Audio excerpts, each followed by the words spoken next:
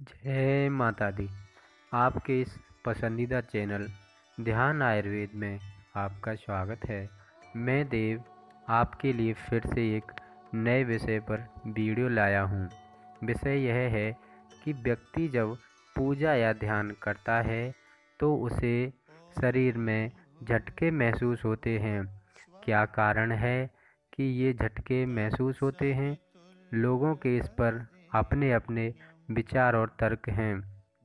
इसमें दरअसल होता ये है कि व्यक्ति जब पूजा या ध्यान की स्थिति में होता है तो उसकी संचित ऊर्जा मूलाधार से उठकर सहस्त्रार की तरफ़ जाती है।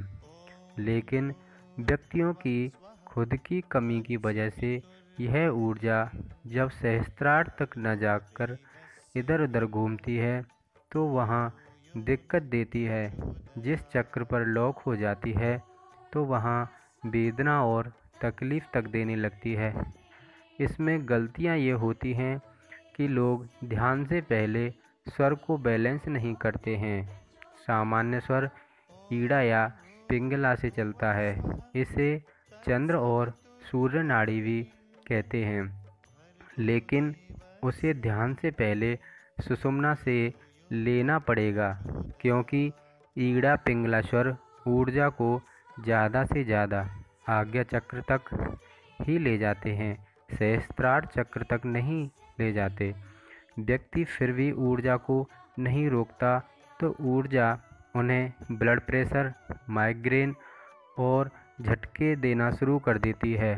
इसीलिए ध्यान से पहले हमें संतुलित आसन पर बराबर बैलेंस से बैठना चाहिए, क्योंकि बायां या दायां स्वर चलता है तो ऊर्जा आज्ञा चक्र तक ही जाती है। लेकिन ध्यान तक तब लगता है जब सहस्त्रार्थ तक ऊर्जा का संचार हो। इसीलिए ध्यान या सुमरन में संतुलित आसन का होना ज़रूरी है। जब ऊर्जा सुषुम्ना से चढ़े तो सहस्त्रार्थ तक जाती है तो कोई दिक्कत नहीं होती है। लेकिन जिन व्यक्तियों के ऊर्जा का पथ क्लियर नहीं होता है, वो सुषुम्ना की जगह ईड़ा या पिंगला नाड़ी पर चलते हैं तो उनकी ऊर्जा ज़्यादातर आज्ञा चक्र पर रुक जाती है।